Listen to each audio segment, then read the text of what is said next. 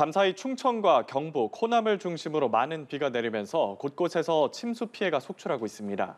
충남 논산에선 남성 한 명이 엘리베이터에 갇혀 숨지는 등 인명 피해도 잇따랐는데요. 보도국 취재기자 연결합니다. 조성음 기자, 먼저 인명 피해 상황부터 전해주시죠.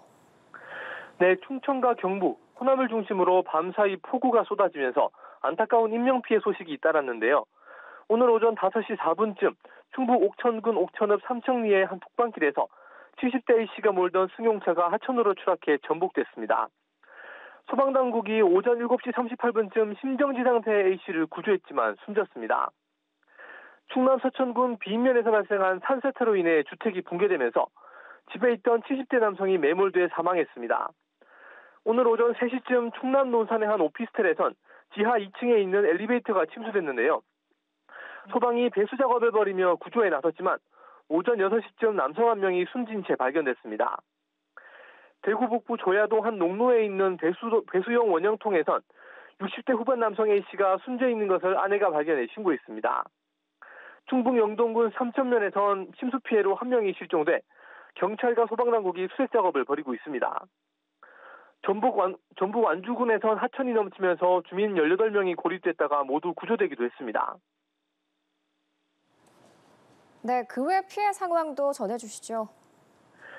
많은 비에 열차 운행도 일부 차질이 빚어지고 있습니다. 무궁화호와 ITX 새마을 등 일반 열차의 경우 상항선과 경북선은 오후 6시까지 전 구간 운행을 멈춥니다. 이 밖에 KTX와 광역철도 등은 전 구간 운행, 정상 운행 예정이나 최대 4시간가량 지연되는 등 일부 지연되거나 호우로 인해 서행하는 경우도 발생해 열차 이용에 참고하시면 좋겠습니다.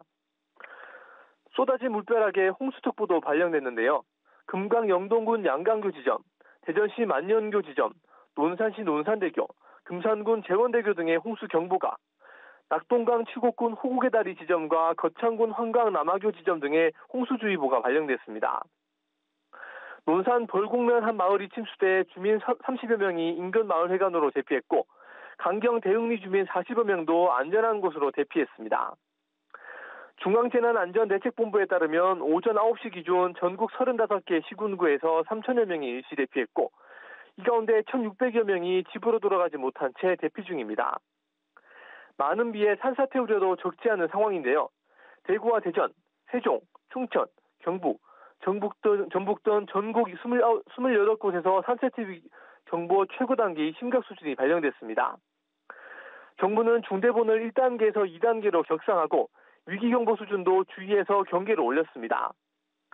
이상민 행정안전부 장관은 오전 9시 중대본 회의를 주재하고 중앙부처와 지자체 등 관계기관은 최악의 상황을 가정하고 재난에 대응해달라고 말했습니다.